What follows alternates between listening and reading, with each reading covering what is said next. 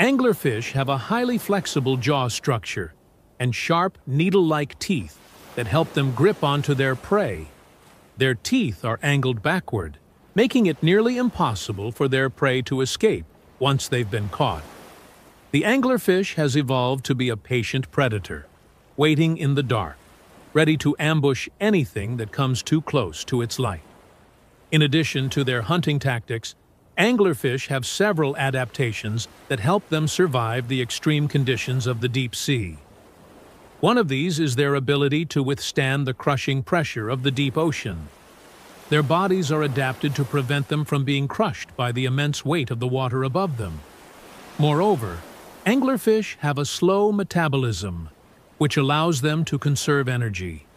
This is crucial since food can be scarce in the deep sea. They are opportunistic feeders, meaning they eat whenever they have the chance, and can go for long periods without food if necessary. Perhaps one of the strangest aspects of anglerfish is their reproduction.